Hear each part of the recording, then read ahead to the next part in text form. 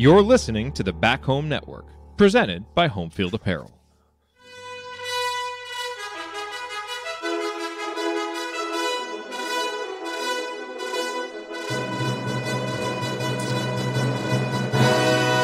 And welcome, Hoosier fans, to this special edition of the Assembly Call presented by Homefield Apparel. And, you know, even though the Black Friday and Cyber Monday sales ended on Tuesday, you can still get 15% off your first order at Homefield Apparel using our promo code HOME, H O M E. So check them out at homefieldapparel.com. But tonight, on the eve of Indiana's first big home game of the season, we have a very special guest here with us to help us preview Wednesday night's game between Indiana and the nation's preseason number one team, North Carolina. It is Mark Titus, one of the two hosts of Titus and Tate, here with us to uh, talk about the game. The best national college basketball podcast out there, for my Where's money. the Where's my co-host? What's going on? We're playing the Tar Heels. What happened? Yeah, where? I mean, that's why we asked you two to be on here was to, to get Tate's North Carolina preview, and they lose a couple games, and he he bounces on us. Uh, What's so up one with of that? the one of the great things about doing the show with Tate through the years is uh, you you you get a sense of his confidence level in his team because this this man wears it on his sleeve, and he knows how well I can read him. So like he's trying to get better at like you know pretending, and so we're in Maui um, for the Maui Invitational, and it's paradise, and it's like the most relaxing place ever, and you know it's it, everybody knows how great Maui is, right? And North Carolina uh, is is playing. I think it was Portland at the time. Uh, they, Mhm. they no they played they played Portland. Yeah, they played because they played Portland up in the uh, the PK eighty, and they're playing terribly. Um, and Tate turns it off, and his whole attitude is like, honestly, I don't care. And for the rest of the day, you could just see him not caring, but also checking the score and care. It was like the most fascinating thing I've ever seen, Jared. And now Carolina goes on to lose two, as we know. They're they're entering this game on a two game losing streak. Um, Yes. he has he wanted to. We, we were supposed to be in Bloomington for the game tomorrow. Yes. he cancel. He he turned to me and said, "I'm canceling the trip. I'm not going." and then he agreed to come on your show tonight. And uh, I don't know what happened because, like, as of this morning, he was coming on, and then I don't know. He must have he must have heard something because he, he he texted me this afternoon. and was like, "I don't know if I can do it." so this was going to be a the- very friendly space too. You know, we weren't going to grill him or anything. this I mean, this game has come on, turned on, its head, man. Like It this has. this when it was announced, this was like the big, you know, this was I, I don't I don't need to explain it to all the Indiana fans, but I mean this was I, I was I was fired up. I was like, this is gonna be awesome. This is another this is one of many we're back moments for Indiana. You know, like the Hoosiers are gonna win. You're gonna dust off the shirts. You're gonna you're gonna wear them again, and uh, someone's gonna throw one to Mike Woodson. And uh, as he stormed the court, he's gonna hold it up. It says "We're back," you know, and he like finds the camera and he's hold.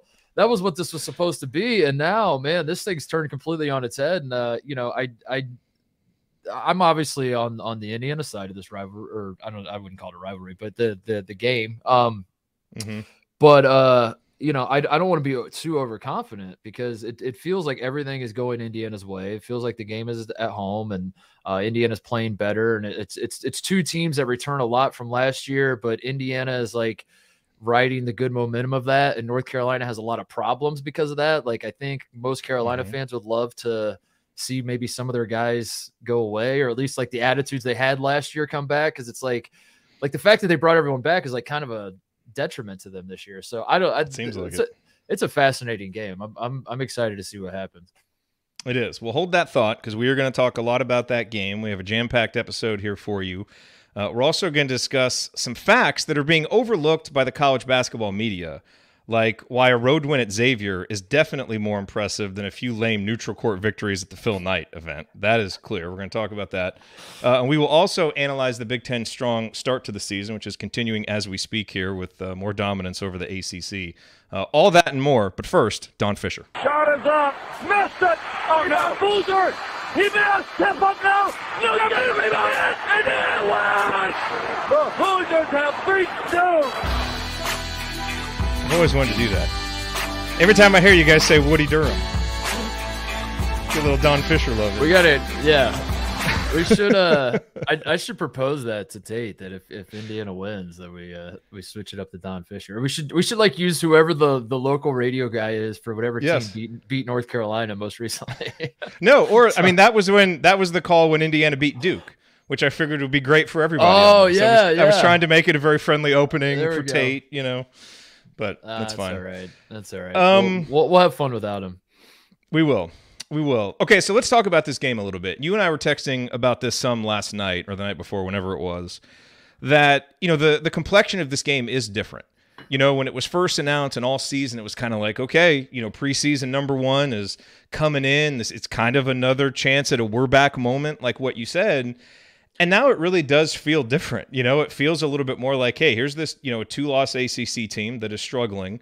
It's still North Carolina, but if this Indiana team is who we think they are, they should take care of business at home in this game. And there's a little bit more of kind of an expectation of victory now than, hey, this is another big moment to storm the court and all that craziness. And I kind of think that's better for this program and I where it agree. is. Like, I agree.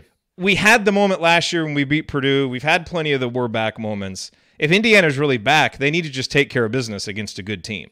So I Yeah. think I'm I'm actually it's a little bit less fun, you know, like Yeah. slightly, but I think it might actually be better for the program. I, I would never I would never be the type of person that tells people to not get excited about their team or not storm the court or not um I, I'm I'm not that guy, you know. Like if you- if if IU or any other school wanted to storm the court after every single win, uh, by all means, like you're not going to hear me say don't do that. Um, but I I do think in terms of the long term health of the Indiana basketball program, getting to a point where beating a team like North Carolina on your home court again, storm if you want, be excited if you want, text your friends be like, I think we have something here. Do all of the these things. But also like there needs to be a part of like now we beat North Carolina. Now who do we play next? Oh, it's Rutgers. Okay, so now let's go kick their ass instead of like, you know, almost forgetting that there's another game or that there's a rest of a season and then like taking the next couple weeks off to just like high Like five last each year, other. Yeah. the Michigan yeah, game yeah after Purdue, which was just a disaster. Exactly. Yeah, that Yeah. seems to be a, common theme with Indiana. Is just like there, there's so much high fiving that you forget that the season's not over and there's more basketball to be played. Um, so I, I think that's a good thing. I think I think uh, you know North Carolina is still a, a very good basketball team. I think like the the the demise of North Carolina is being overstated a little bit. Like they're Mhm. they're they're going to put out a good product on the floor, and Indiana's going to have to play well to beat them. Um, but I will say the one like thing I might be slightly concerned about uh, with everything flipping on its head is that the pressure is now on Indiana. It is firmly on Indiana. I think coming into this game, part of what makes Assembly Hall such a tough place to play and and why it gets circled, uh, uh, you know, all, or, or, it, part of like what makes these environments great is when it's not just Assembly Hall. It's when it's when Indiana has a team that's good enough to beat like one of the top uh, upper echelon teams but they aren't the top upper echelon team. Like that's my favorite assembly hall environment is when a number one North Carolina comes in and Indiana is like, I don't, a tenth would be fine, like what they are now, but like more like 16th. You know, I think that's the Mhm. perfect recipe for assembly hall to be bonkers. Um, because the team just plays so freely and so loosely, and it's like we have nothing to lose. Like let's just let it rip. Now I think the pressure isn't on Indiana, and and um, I, I North Carolina, as much as they've had trouble, like what's interesting to me is looking at their schedule. The ACC is not good this year. The ACC, I mean, Mhm. for that's we, could talk about that in a little bit with like the Big Ten ACC part of this all. Uh, but the ACC is not very good. Carolina's non-conference schedule is basically Indiana. Um, they they did the PK 85, which was a disaster. Mhm. They play my Ohio State Buckeyes in Madison Square Garden, which we're ranked 25th right now. So like that that will be a good win if they beat us, but it's not like, you know, that's not a, a jump off the page at you win as of right now. And then they play Michigan. And other than that, they play like basically nobody. So like Carolina's in this weird spot where this is suddenly like they're circling this game and saying like this is our one opportunity in the non-conference to make a statement and we were the number one team in the country coming into the season. It's it's all very bizarre. I don't know how we got here so fast in the season. We're supposed to be we're supposed to be warming up to the season, and all of a sudden, everything that we thought we would think about this game has been thrown out the window. Well, I feel like that happens a lot in November. We have these, you know, these small sample sizes and only a few games, and we try to react to what we have. But then once we get to February and March, we're going to look back on some of the stuff we talked about in November and be like, yeah, okay, well, that didn't Yeah. really pan out, or this did. you know, as you look at this game, and I know you've probably watched more North Carolina than you have Indiana, because Indiana's basically only had one game worth watching for you know someone who doesn't isn't crazy enough to do a post game show after every game, um, and that was of course the Xavier game, which was an impressive road win. I mean, no mm-hmm. question about it. Um, what are your impressions of this Indiana team so far this season? Uh, I, I think coming into the season, it was shooting. That was the big thing. Uh, that's the the the that that's what I've always been. You know, I, I I'm kind of I know I'm preaching to the choir, but like that's been the the problems with Indiana, and certainly last year was like, man, if they could just literally have any confidence whatsoever in their outside shots, that would be that would be nice. Yeah. Um, and so far, I don't know. I, I, I think it's going well. It's going better. Uh, I again, the, the competition's tough. It's a lot easier to shoot over, uh, you know, guys who are two or three inches shorter than the Big Ten opponents will be, and not quite as athletic and all that. Um, but no, I, I I think Indiana is is like I said, like they're they're they're one of the teams that bringing bringing the, the core, the nucleus back, uh, ha, has worked wonders for them. And I think one of the other things that's interesting is like some of these big guys around the country uh, and North Carolina is one of them. Is like Armando Bacot coming back. Um, I, I don't want to say it's hurt Carolina, but like he's he's kind of like an elephant in the room for them, where he's like their best player, quote unquote, but he's also like kind of a liability in a lot of different ways, and it's like this uncomfortable conversation with the North Carolina fans are having amongst themselves. Um, and we could be having with Tate if he was here tonight. Um, if only. but I think I think Trayce has handled his role well as like I like we're going to continue to feed me the ball. This is how this is like I am the focal point of this offense, but you don't want to become a black hole. And I think like that's that's like one of the big narratives I've been fascinated with with college basketball as a whole is like this was supposed to be the year of the big man. I think it is going to be, and I think it's you know so far it has become that in a lot of ways. But um, at the end of the day, guard play is what's going to win you games in March. And uh, I, I, think Indiana's guards have played well enough for for Indiana to, to be a real threat. It's just, you know, if we're being honest with with each other, the, the schedule has not been great. And and that's not to like rip on IU because like you it was it was structured in such a way that like now it picks up. You know, you go to Kansas, you got Arizona coming up. Yep. Uh, but so far, it's like basically the one game from Xavier that we have to go off of. Um, and it was a good win, but it was also like, man, felt like they were trying to hand it away there a few different times, you know. Mm-hmm. Um, but it was a road win, and there aren't a lot of there aren't a lot of true road wins amongst the uh, the the ranked teams right now. So there is that, you know. Yeah, no, no question. And you know, even in the other five games, I mean, Indiana has taken care of business as they're you know expected to, beating those teams like they should, which recent Indiana teams haven't always done. Um, give our our listeners a little bit of insight on this North Carolina team that's coming in. I mean, I think a yeah. lot of us are familiar having watched them last year, you know, do a service to all college basketball fans uh, by sending Mr. K uh, out a loser, which was which was great to see. Really, I feel like we should all have a little more patience and appreciation for North Carolina. Yeah, no kidding. They did that, yeah. you know. they should at least get like a month long grace period, you know. Um, but give us give us some insight. I mean, we know about Bacot. Um, what are the keys do you think in this game you know for indiana looking at, at this well, north carolina I'm, team so carolina like the, the, the problems have basically arisen from uh they have a Caleb Love Armando Bacot problem where Armando Bacot has got all the, it, it, it's a really fascinating thing because I think a lot of teams um you, you would you could point to and say that they have chemistry problems or whatever and sometimes that's just like a a way to like hand wave away you know like subpar play and you're just like, yeah, they got chemistry problems. They'll figure it out. That is real. Like I, it's clear as day when you watch Carolina what their issues are, and it is that it's that Armando Bacot is a preseason All American. Caleb Love's like, I'm the guy that hit the shot. Like I'm the guy that I'm the guy that carried us to to X Y Z in the in March. You know, like whatever whatever level it was that Carolina got to, like that was me. I did that. Um, but Armando Bacot gets all the love. Meanwhile. Uh, you know, they lose Brady Manek and they replace him with Pete Nance, which you know, Big Ten fans know Pete Nance pretty well. And Pete Nance is not a bad basketball player, but I think Brady Manek, like some of the the things that he brought to the table for Carolina, unlocked, um, you know, un- unlock Caleb Love and let him have more space. And Armando Bacot, like people couldn't help and double in certain ways that because Brady Manek wasn't just a shooter, like. Like I, I think Pete Nance is shooting the ball well. I think he's shooting still like 42% from three this year.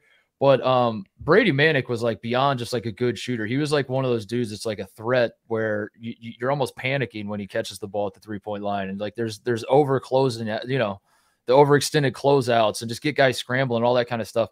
So from a personnel standpoint, I think losing Brady Manek is a huge blow for them that they're still trying to figure out. And um, but really the issue is the chemistry. Uh, they they have seemed to have abandoned like any semblance of of uh, being coachable. Like if you watch the end of that Bama Carolina game a couple days ago, my God, they they just like Caleb Love was just like, it's my time. And we're like, Caleb, please, for the love of God, pass the ball like one time, like one possession, pass the ball. Didn't he um, take like 30 some shots that game? 37.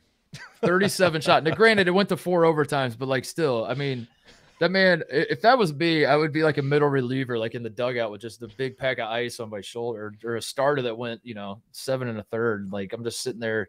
Um, so Caleb Love, that, that that's basically the issue. If it boils it boils down to that, they brought everybody back, and all these guys spent all all off season. Like I said earlier, with like Indiana, where you're high fiving everybody, and you forget that like we have another season to play, and we have. I I think the the the problem or, or um one of the things that's going to be fascinating with Carolina moving forward this season is that they they do have that sense that that that they they can just do the break class break glass in case of emergency because that's kind of what they did last year. I mean, they were an AC last year. They lost a Pitt at home for God's sakes. Um, mm-hmm. Duke wiped the floor with them at home in, in Chapel Hill. Um, th- no Carolina fan wants to talk about that one, by the way, because they did get the better of Duke later in the season, but Duke beat their ass in Chapel Hill.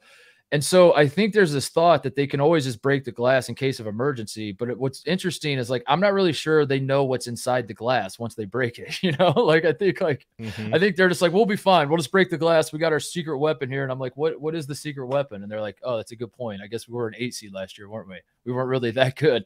So um, I I I mean if you're an Indiana fan, how do how does Indiana lose? I guess like that's where you're going to is like you're you're, you're panicking. Like how do, what does a loss look like? Caleb Love uh, I will be making jokes about him all season. I've, I've seen enough from him already to know that like he's it's going to be fun to just like joke about him shooting 37 times in a game. Um, he's got that Bracy right in him that that uh, you know he's going to shoot mm-hmm. Carolina out of a lot of games. But I'll be damned, there will be that one night where he makes 26 of those 37 shots, and you're like, "Is this guy? Is this guy the greatest college basketball player of all time?" Um, Armando Bacot looks a little out of it. Like he looks like he's he's he'd rather be anywhere else. He looks like a guy that's like wake me up when March rolls around. Like I don't this is boring. Like can we go back yeah. to the time when we were knocking out Coach K from the Final Four? Like that was fun. But now I have to play who and where? Like I don't want to do that. Um but you know, maybe Armando Bacot's juices, competitive juices are flowing. I know him and Trayce have uh, you know, I know they're familiar with one another and um you know, that certainly seems like a matchup that that Armando Bacot would have circled. And um, they're both banged up too, which is going to be. They are both banged you know, up. Trayce has been a little hobbled. Up. I mean, he still, and, you know, has been playing well, but he didn't. He didn't look like himself the last time out.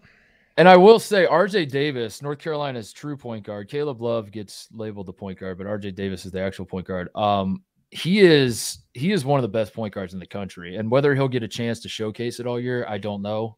Um, whether he'll even get the ball or Caleb Love will always have it, I don't know. But like RJ Davis, if he was on any other team and you're like runner offense and do what you do, he is very much like top five point guard talent wise in the country. I do believe that. Um, so that's the thing with Carolina, man, is they and Leaky Black, you know, everyone remembers him uh, from the team last year. He's back. He's he's a great defender, great glue guy. Uh, they, they have the pieces. It just it very much is like they they're just going through the motions. They are they are demonstrably worse at basically everything this year than they were last year. It's crazy. Mm-hmm. It's like it's it, and then the only thing you can think is like they they're just bored. I don't know. That's the only thing I can think. So like if I'm an IU fan, I don't want to get too excited about like we're definitely going to run away with this because like maybe going to Assembly Hall in the ACC Big Ten Challenge is the exact type of environment that finally gets them to wake up and they're like, ah, this is this feels like Final Four again. This feels like you know, this has a familiar uh, uh, vibe to like when we beat Duke and Cameron or when we, um, you know, ended Duke's season. So, yeah, you know, you obviously played on some really good, you know, Ohio State teams that were successful, had guys that went to the NBA, played in big environments, succeeded in big environments, made NCAA tournament runs, which this North Carolina team has done. For a team like that coming into an environment like Assembly Hall, what is the reaction? Like those guys aren't going to be intimidated, are they? Like they're probably more likely no. to get a little juiced up than they are to get yeah, intimidated. That's what I that's what I would say. That's what I mean. Like that's that that would be the fear. Is like they're kind of going on autopilot. You could say like the PK eighty five. Is, is that what we called it? The Phil Knight legacy, the Phil Knight There were two different. Yeah, there's like there were two different tournaments. I was I wasn't clear. the Phil Knight feet kissing ceremony, uh, the Phil Knight, whatever it was. Um, I think the one Purdue one was the Phil Knight Helms uh, the Phil Knight helms. inv- invitational. no, they they didn't give him a trophy. They're gonna wait like sixty years and then vote on it, and then and then they'll they claim call, it. yeah, and then they'll claim it. Then Purdue will raise the banner and say, "We did it, you everybody." Like we're gonna call the team to let them know they won, and everyone's like, "The team's dead. All the the whole team's dead. no one from that team is alive to know that they won the national title." Um, no, I, it, I I I think it's that. I think I think Carolina will be, uh, you know, the, the, I I think they'll be fired up. I, I I do think you'll get Carolina's best effort. What that looks like, um, I don't know, but uh, because because the Phil Knight deal, as as much as it was made out to be like a big deal, and you know, there's a lot of great teams up there, and Carolina kind of didn't really play. I mean, Bama's okay, but Iowa State and Portland, those are the three games they had, which is kind of wild looking at that bracket and who they were, could have Mhm. played. Um, but there's no fans there, man. Like that environment was dead. It was Yeah. terrible. Um, so uh, this is the first, I would say this is their first game of the season that's going to feel similar, yeah, to like last year where they had they were playing their best basketball, the kind of environment where they know they're on national television, everybody's watching, all that kind of thing. So, uh, but again, with this team, man, like if that might be that might be good for IU because that might be like Caleb Love saying it's Caleb Love time, as Armando Bacot saying it's Armando Bacot time, as RJ Davis is like it's my time, and and Hubert Davis is like, what the hell is this? Why can't we go back to last year? It's they're they're fascinating. They're they are so I've I I I'm not hitting the panic button because it's November, but they're to be preseason number one in the country. They have, like I said at the top, like they do, they don't have a lot of opportunities to pad their NCAA tournament resume. Which I'm not saying they're not going to make the tournament. Um, but it's just like I, I it, it almost feels like they're trying to get an eight seed again this year and then, then run it back. Like that's what the that's what feels like the plan is with them. Uh, so, how many excited text messages has your dad sent you about Malik Reneau so far this season? Oh, he's a big fan. Yeah, he's a big fan. I think all He's- IU fans are. Yeah, he, he's he's a big Malik. Uh, Ger- Geronimo he loves. Um, Mhm. I, I I I feel like, and I, I hate to report this, but I am a big J journalist, and I just report what I'm told. Uh, I sense that the tide might be turning with Trey, which like I haven't watched enough to pay attention, but like Dad was like, I don't. So what, what what's the story there? He's just not making shots. Like he's like he's I my, my dad. I will say, and I- and I kind of back him up on this. My dad goes crazy for guys who are coaches' sons who can't shoot. Like he Mhm. goes crazy for it. He's like, how could you how could you grow up with a coach in the house and like taught you how to play the sport and you don't know how to shoot? It doesn't make any sense. And I kind of am with him on that, but I love Trey Galloway, so I can't. Well, and Mike Woodson loves Trey Galloway, which is the Yeah. important thing, and that's why he plays. So his shot actually does look better this year. I don't know. I think he's like two for five maybe this year from three. He made a couple in the exhibition games too. Let me look. He's two for Okay. four. Um, And Okay. his shot does look better. Like he clearly kind of changed his mechanics a little bit. Things are just a little bit, you know, everything's a little bit more in line, a little smoother. So so far, it's a very small sample size, but so far the early returns are good on Trey's shot. We'll knows? see if it carries the- forward. Who I, I, he, he didn't say that. My dad just texted me one time. I was in Maui and I had a uh, I had a pina colada. I was like probably floating in the pool drinking a pina colada, and like my Apple Watch buzzes, and I see my dad and just says like Trey, and then like a, a mad emoji, and I was just like, Well, it like, might be because Dad." it might be was like, because he took Dad." a it might be because he took a spill, and so he's been out. He didn't play in the last game, so he's been dealing with a little bit of an injury to his knee. Oh, But I he is gotcha. he practiced, so he is supposed to play against North Carolina. But I think Okay. everybody's a little worried that knee thing could linger a little bit. Okay. So that may be Yeah. what it is. Yeah, yeah. Hopefully, yeah, because I, I that, that was shocking to me. My dad was like, he, I was like, that Trey, but I don't know. Last year drove him crazy. He just texted me like, how does Trey Galloway not shoot? And I don't know. That's that's. I feel like that's every Indiana fan though. Like it, it is, it is. I will never ever, as long as I live, get used to seeing an Indiana team not be able to shoot. It's like no matter how many times it happens year after year, like seeing a, the team that goes out on the floor with Indiana on their chest, and it's like, and then you hear the announcer say they're one Achilles heels, they can't shoot. You're like, how does this happen? I know. Well, hey, right now But we're in the bet- top fifty in Yeah, three point yeah. shooting percentage. So It's better know. so far. Yeah. Yes. Better we'll, so far. we'll see if that carries forward. Let me ask you this. Um, and again, I know that you didn't watch, you know, all the cupcake games, but you know, one of the big storylines for the team this year is Xavier Johnson and Jalen Hood Xavier, the fifth year senior, Jalen Hood the freshman. And look, Indiana has not had good guard play for years. You know, Xavier Johnson was a breath of fresh air last year because here's actually a guy who's confident and aggressive and can pass. And now you've got another one of those in Hood Schifino. And the clear benefit is for 40 minutes, Indiana has a really competent playmaker who can push and transition, can make things happen in the half court. They both have, you know, a few warts in their game, but they're really, really good players. And they've played really well individually they've struggled a little bit to me together. Like it feels like it's a bit of an uneasy pairing because they're two guys who now it's not a chemistry thing. Like they played together in Pittsburgh, like they obviously you know have good chemistry, but they seem to me like two guys who are used to always having the ball, and now when they're both on the court together, you know they have to learn how to function off ball too. And yeah. so it has led, I think, to a few kind of slow starts for the starting unit as they kind of work through that how do you see that kind of thing playing out? Because the, the benefits of having two point guards are clear, but you know you have to have guys who are able to function off ball when they don't have the ball in their hands. Yeah, I I, I think it's uh, it's a deal that you, you don't put too much pressure on trying to figure it out. I, I I don't think we need like a defined like you bring the ball up this time. I bring it up, or you bring you want you want to bring it. You bring it like just if you have the ball, bring it up. If you want to run the, I I, I think those are the best because um basketball in general, like as you're watching more, is certainly the NBA level. It's become this where where uh, I mean, what even is a point guard at the NBA? But if you watch the yeah. NBA, you're like, I don't know, is, is Giannis a point guard? Is LeBron Luka. a point guard now? Is Luka point? Like, what even is point yeah. guards anymore?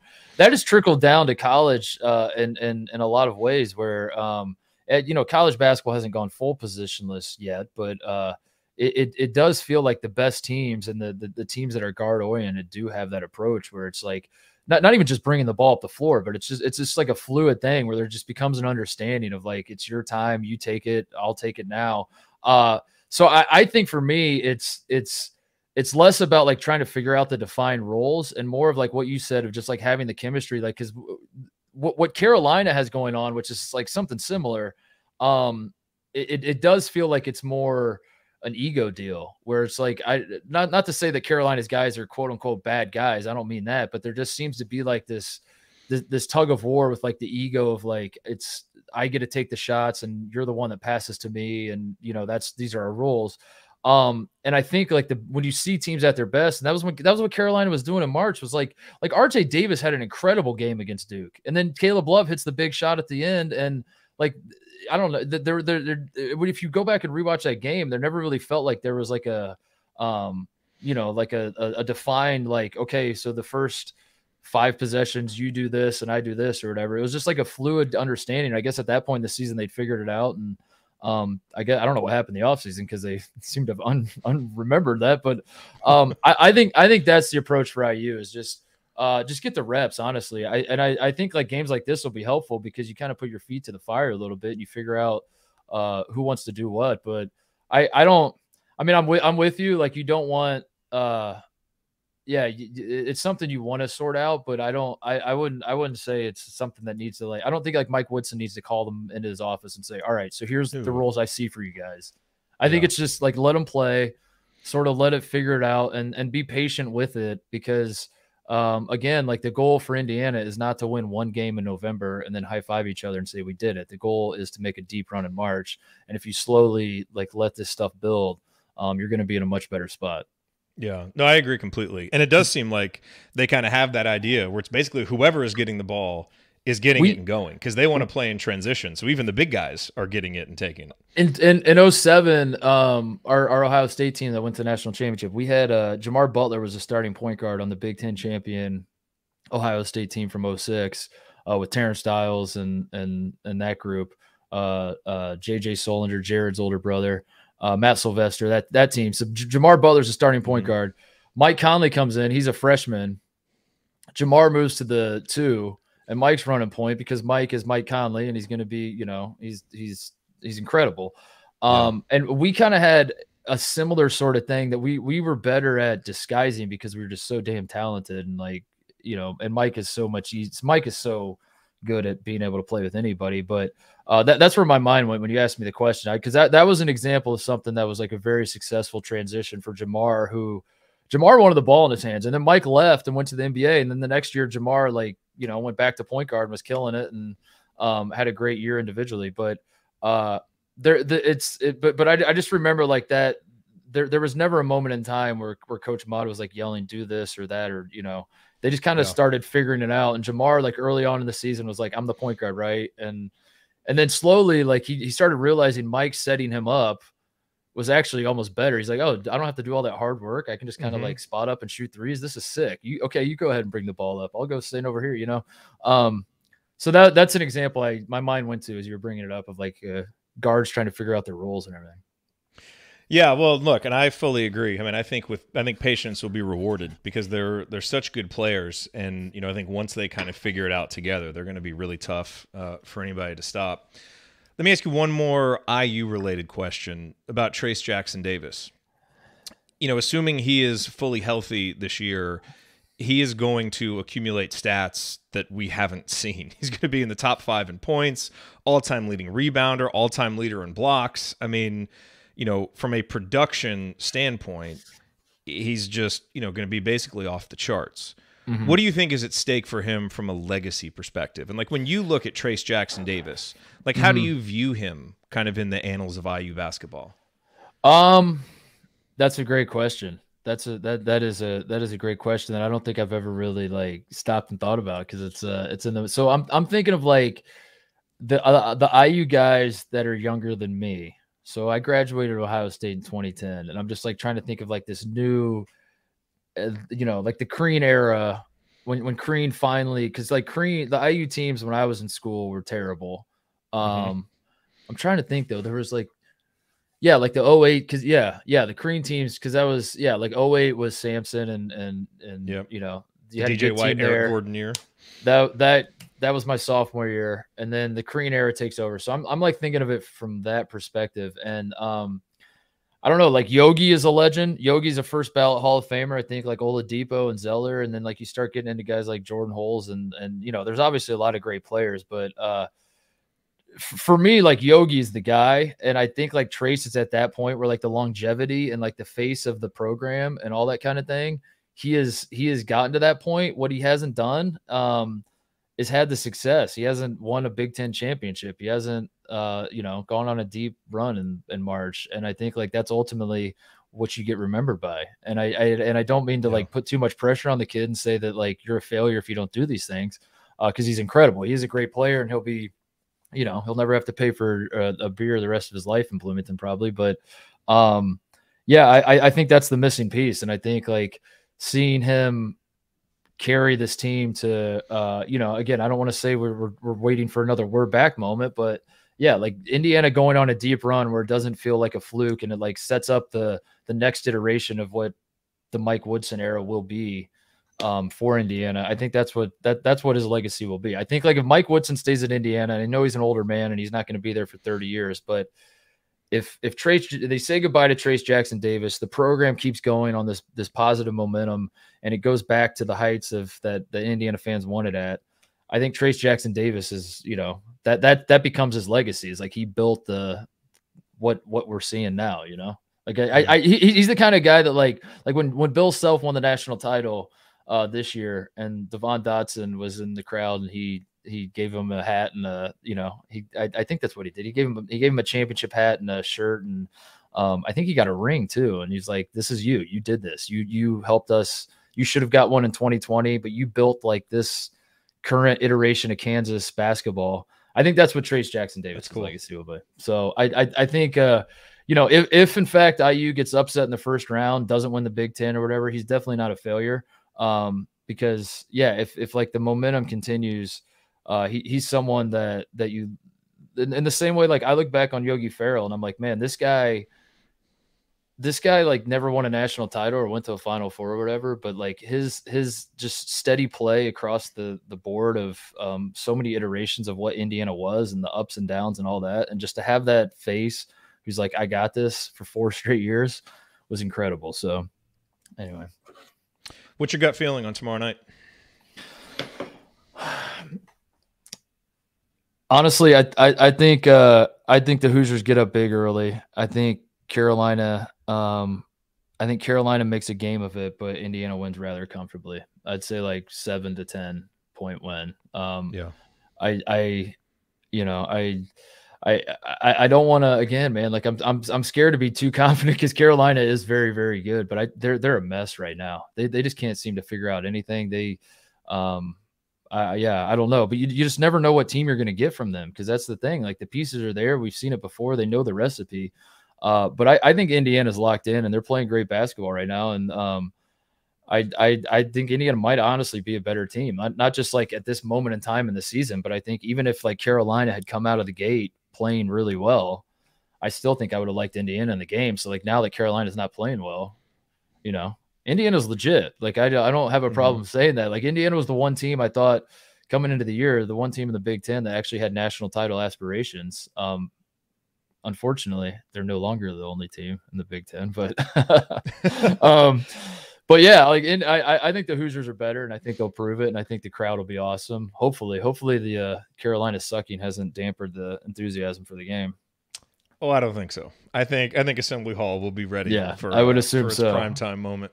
I would assume Um, eh, but I do think it's interesting. Like you mentioned it earlier. Like there's underdog Assembly Hall, and then there's like confident we expect to win Assembly Hall, and Yeah. they're two very different vibes when you're in the arena. And I think that's what's happened is now we're going to shift a little bit more to like kind of confident Assembly Hall, which can Yeah, of well, course this- turn to pensive Assembly Hall if things Yes. aren't going very well. Uh, but I think that's more of what we'll get, I've- which is I've good because that's what needs to be the habit. Right. I've seen like every iteration of Assembly Hall, and that that's the one that scares me. Is like the the Rutgers game last year when Ron Harper was like, "This is great. You guys are loud and but like like when you're the underdog coming into Assembly Hall, the atmosphere like almost backfires on Indiana because then like the underdog sometimes is like." I get to shut all these people up and they feed off of that energy and they love the whole Mhm. scene of it all. And it's like, wait a second, like I, I don't know. That's why the most dangerous Indiana teams are the underdogs. They are. they they really are. Like Indiana at home, Assembly Hall is the hardest place to play in the world when Indiana's like a five point dog. That's where that's Yeah. when Indiana's like favored by 15, that's not as hard. it's so Yeah. much harder when they're a five point dog. Um, so that's what scares me. But but Indiana's a better that. But I, I, again, I want to get to a point where I'm like no longer doing these like mystic type like like voodoo jinxes and all that kind of stuff. And you're like, listen, Indiana's a better team. You're at Mhm. home. Uh, Carolina's banged up in a way that, that Indiana isn't, um, or to an extent, Indiana isn't. Go win the goddamn game, you know, like go win the game. Yes. That's it. It's that simple. Yes. Just go win the game, and that's that's really all we have to do. And not we, as in, and I'm sorry, I didn't mean to say we. I meant like, sorry, that was weird. No, it's But okay. That's You- that's all. Um, that's all that I was. I was speaking as though I was in Indiana. I was in the Indiana. Like, let's go win the game. That's all we have to do. Your dad's an Um, Indiana fan, so technically you're an. Indiana fan, even if you went to. I get- Ohio I get a bunch of crap. down. I but I was saying the we. I, I didn't mean to slip the we in as though I'm an Indiana guy. I it was me speaking as though it was a hypothetical. I'm sorry. I've gone too far. No, it's cool. I get a lot of we crap. know I get a lot of crap from people for doing that. So I want to. because we know that you're a Virginia guy, I'm as am I. Virginia guy. Noted, noted Virginia fans, and Virginia currently coming back. They are now down just two to Michigan, and so we're gonna get out of here soon so that we can go watch the end of this game. Which, by the way, and I, I want to get your thoughts on the Big Ten as a whole. Yeah. And this is where I was going to make fun of Tate for how bad the ACC is, but we can't do that since he's not here. But that's okay. He knows. so I don't think we need to rub it in. You know. Uh, I do want to let you know the segment that you guys did about Purdue. Uh, it was excellent podcasting. Like you made really good points, but there were two particular times where you made me want to throw up, and that was when you compared their guards to Ty Jerome and Ty Kyle Jerome. Guy, yeah. my favorite non-Indiana set of guards of the last twenty years in college basketball. And then when you made the astute but angering point that Matt Painter has basically just recreated Bob Knight basketball in West Yes. Lafayette, minus the banners and the championships, of course right. Right. the most important part of Bob Knight basketball. But he's done a nice little imitation, which you know, and all Indiana fans in their private moments will admit to each other at times. Man, I kind of like watching Purdue run offense. know. You know, I know. Like I like the way they play. I know. Um, so yeah, so I did. I did want to throw up, but I did. It, it was good. It was good. They were It's- good points. It just I'm I, I'm fired up because I, I think the IU Purdue rivalry is is about to just go to the moon. I think it I think it's like I think it's positioned to be um, the best rivalry in college basketball for the next few years, and if not longer, I don't know. But like right now, where we're at with the Mhm. rivalry, um, it's incredible, and and and I think that's part of it. I really do. I think that like every Indiana fan has like an idea of what Indiana basketball should look like. And if you wrote it down, if you wrote down like these are the tenets of what Indiana basketball should be, and then you watch Purdue play, they check every box. and that has to be, you know, like that's and, and and there's I don't know, there's something like beautiful about that, but like the jerseys say the wrong word, so you're gonna hate them. But then like some parties like I hate them, and they leave too early in March. Other than that, yeah, yes. yeah, no, no, it's true, and and it's it's it's it's so perfect, like the way it's positioned, and um, yeah, I don't, I'm, I'm fired up for it, I really am, because I, I think I'm gonna try. I don't want to uh, make any promises, but I I'm I am trying. I I I've, I've made some phone calls and we're putting it on the calendar. I'm gonna try to get to both Indiana Purdue games this year. I'm trying to go to both of them. We're doing our meetup. We're doing our meetup for the Indiana Purdue game. If you guys are going to be in town In Bloomington, yes, we're going to be there. We're going to do like a live show. that one's probably, first, probably right? after the game. Yes. uh, that yes. and then we play and them again in March. Then, yeah, it- yeah, the yeah. return games and yeah, okay. Um, Yeah. all right, yeah, let's do it. Let's do it. I because Yeah. I, I, I, I don't know. I just sense uh, as a kid, you know, growing up in Indiana in a divided house, um, the Indiana Purdue rivalry was was awesome to me, and I, you know, I I couldn't get enough of it, and um, it it it, it just like it always felt like a rivalry that was to me. I was like, this is the best rivalry you know, in the, in the country. But uh, then I moved on to other things, and I, you know, I'd moved to Ohio, and I'm like, yeah, you know about the Indiana Purdue? They're like, what what schools are they? And I'm like, are you kidding me? like, we're you're you're at a football school, Mark. We don't care about that, you know, whatever. um, so to see it like elevated, start to get elevated, and and to have two top ten teams and two schools coached by former players of their schools, and and so much history um between those you know and, and matt painter like wanting to go to iu and he's not he doesn't make a secret about that. He's like i wanted to go to iu I, I did. And, and they wouldn't let they didn't want me. Coach knight didn't want me so i took his whole identity and i put it on my team. Um so yeah the, the, the whole thing's fascinating. I'm, I'm fired up. It's it's a great time to in the whole state honestly of, of indiana because because shout out coach Mott and butler and they they kind of suck. They Mhm. can't shoot for anything this year but uh i'm fired up about that too. And i just you know i'm a guy ultimately at the end of the day i, I get excited about basketball in the state of indiana and basketball is, is is in a very healthy spot so anyway I agree, man. No, and those games are better when both teams are good, when those wins have meaning in the you know in the Big Ten race.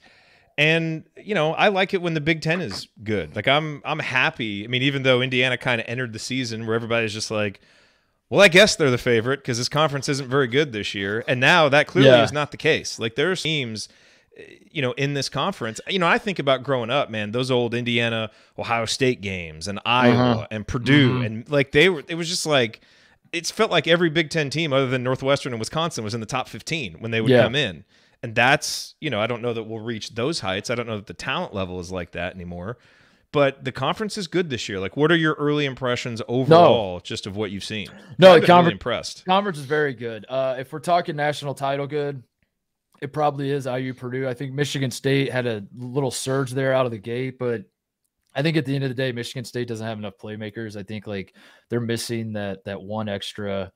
Uh, you know, if, if if you put like a Gary Harris on this Michigan State team, I might think they're the best team in the country. But Gary Harris They is also not have no depth. Yeah, they Like, have no yeah. depth. So like It's they're crazy. they're they're a team that's good enough to kind of beat anybody and hang around, but I don't think they're national title good. Um, Illinois is fascinating. I think Illinois does have the playmakers, but do they have the the um do, does it all fit together and can do they have the consistency? Do they have the that there's just there, Illinois had a hot start. They they played well um in that little doubleheader they had. Um, but uh, the consistency is always the issue with that team, and I I I'm curious to see how it's going to shake out with this group. Uh, Purdue and IU are the two national title. Like if if if you're if you're asking like which team should say, I think we're good enough to win a national title, it's those two, and that's what makes that rivalry so interesting. I like this Ohio State team too, by the way. I think Mhm. I think Ohio State um, losing EJ Liddell and Malaki Branham.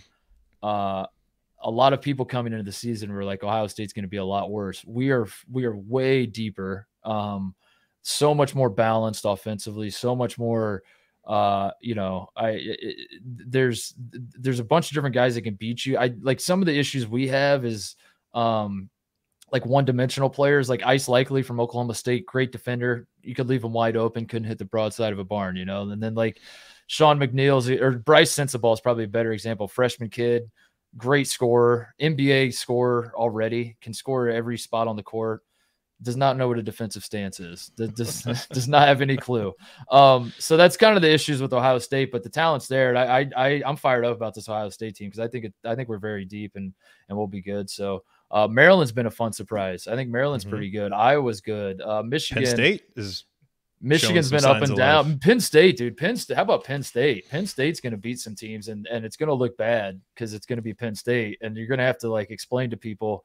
There are going to be some IU fit. Like I don't. I hope it's not IU, but like we'll we'll use like Iowa for for example. Penn State's going to smack Iowa, say this year, and Iowa fans are going to be like, "How the hell did we lose to Penn State?" And the people that know are going to have to explain to their friends, like, "No, no, no, that's not that bad of a loss." Like Penn State yeah, is, they're decent. Penn State is is pretty good. Um, so yeah, the Big Ten's in a great spot, man. I, I I think like ultimately the only way to shut the haters up is to win a national championship, and unfortunately, I, I do think we still only have two real candidates right now. Um, but as far as the depth of the league and and uh, I mean, so far in the non-conference season, the Big Ten has stepped up in a big way. So. More job security, Chris Holtmann or Ryan Day? Oh my god, dude! Don't get me started on Ryan Day. We're gonna be here for three hours.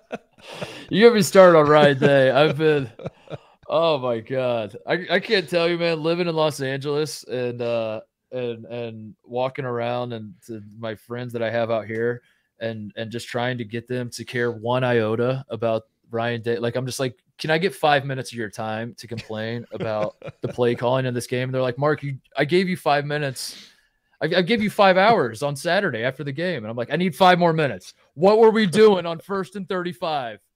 first and 35 and we run a toss to the right. No, so don't get me started. Um, Chris Holtmann has better job security if you're if you're if you're polling people right now. if you're not, I really mean that. Just uh, go go to if you if you want to be entertained, go to an Ohio State message board, search Mike Vrabel's name, hit enter, and then just grab your popcorn and see what happens next. So. Uh, well, Mark, thanks, man. We appreciate your time. Usually, you're on here after an IU Ohio State game, gloating yeah, about a uh, about a Buckeye victory. Has no. Indiana ever won one of the games when you've yeah, know, on the I know. well, no, because I pull a Tate and I don't. I just say no. I'm like, if, if, Ohio State's not playing well, I'm like, no, I'm not going on that show. Why would I go on the show? and then we win, and I text you right away, and I'm like, Jared, I'm available. Hey, man, when, you got a spot? yeah, you got a spot. No, uh, I'll do it this year. When when do they? I'll do it this year. We'll figure it out. I'll, I'll awesome. come on. I'll, I'll I'll I'll promise you that I'll come on. Um, because I, I, I do enjoy doing it, and I do enjoy uh you know I, I enjoy watching Indiana because uh yeah I said the we thing earlier, and as you said, my my dad went to IU and my brother went to IU, and uh, I know I've I've said the story a million times on the show, but uh yeah as as I get older, especially man, like it it, it you learn that like the relationship with your your dad and brother like it just becomes stronger and stronger and one of the ways that i found that i that i keep a very tight relationship with my brother and father is watching indiana basketball so i know mm-hmm. that if if i need an excuse to talk to my dad i know i can just call him and talk to him about Trayce or you know uh geronimo or or trey mm-hmm. galloway or any of the guys race thompson he, he loves him um so yeah, Tell your dad so, if he is worried about Trey Galloway shooting in our private community. We did like a five minute video breakdown of Trey Galloway shooting. Oh, really? Because this is this is what we do in our uh, in our downtime. So I'll uh, I'll send it to you. And you oh, that's awesome. he'll, oh, he'll feel awesome. much better. All right, that's good to know. That's good to know. All right, man. Well, uh, cool. Go Hoosiers, I guess, and and and go Buckeyes while we're at it. We gotta we gotta beat Duke. How how sweet of a uh, absolutely. Uh, how no, sweet of a night would that be? We get back to back Ohio State over Duke and Indiana over Carolina in the same night. That's a that'd be that would be beautiful. That would be that nice. would be beautiful. that would be nice. All right, man. Well, take care. Good luck with the show. Everybody, I'm sure listens, but if you don't, make sure that you subscribe to Titus and Tate. It is the best national college basketball podcast and the one that most IU fans like because that's what I will credit you and Tate for you guys have been the most respectful about Indiana, even during our downtimes, than uh, than all the other national college basketball podcasts. Is it possible to use Indiana and its fans as a punchline? So we uh, we appreciate it. Is it possible that Indiana spent X million dollars to get worse, Jared? Is it is it possible? is That it was possible? a regrettable headline. oh man. All That's right. great. Shouts Well- to Devin Downey. All Yeah. right. All right, man. Thanks See for you, dude. coming Thanks on. for having and me. uh yeah, man, give Tate our best. All right. Appreciate it. See you. See you, man.